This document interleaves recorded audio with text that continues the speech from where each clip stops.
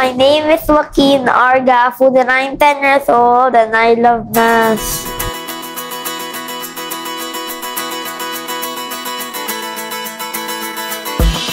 I met this young man by the name of Wacky Gaffud, who is a remarkable mathematical genius. My numbers. 3.14159265359 Correct. and then it goes on.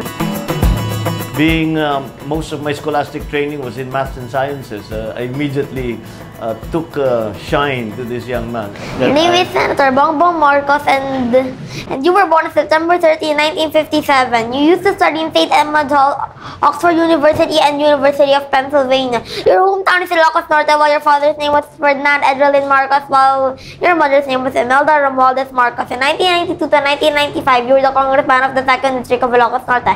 On 1998 to 2007, you were the governor of Ilocos Norte. On 2000, and 2007 to 2010, you were the congressman of the 2nd District of Ilocos Norte. Again, in 2010 to 2016, you were the Senator of the Philippines. and on 2019, you're about to become the Vice President. I like the prediction. Mga problem na binigay ko sa niya, ang bilis talaga sinolve. Tinuruan pa ako kung paano niya sinosolve. Maybe you can help me. I, up to now, I asked my father and I asked my mother, and they don't know what day I was born. I was born on September 13, 1957. you were born on a Friday. How do you do that? Uh, check your work. what day was September? You're a genius. How do you do that? First, you get the the last two digits of the year.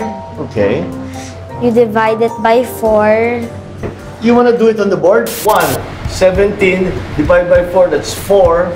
You add one since you're in the 1900. 4, that's 5, right? Five. Yeah. And fi- and Friday is the fifth day of the week. You, and you, did, you did that in like one second. Okay, what's the cube root of Yeah, right.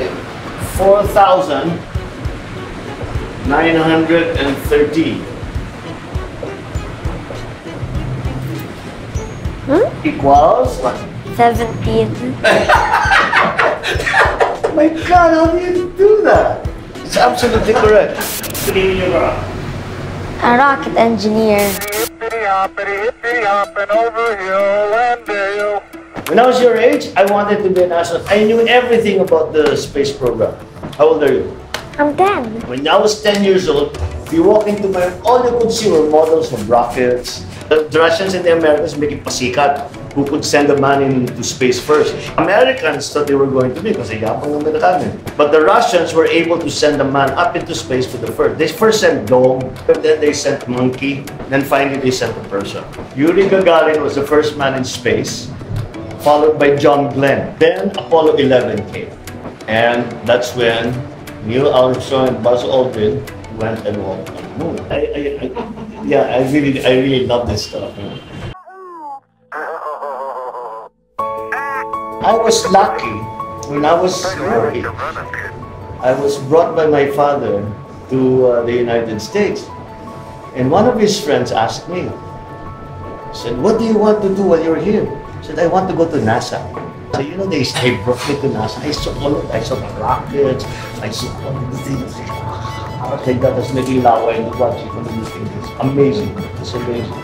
It's wonderful to see young men, a young man like this who is uh, doing so well, and I'm sure will uh, have a very bright future, and will be will bring uh, will bring pride and glory to his country.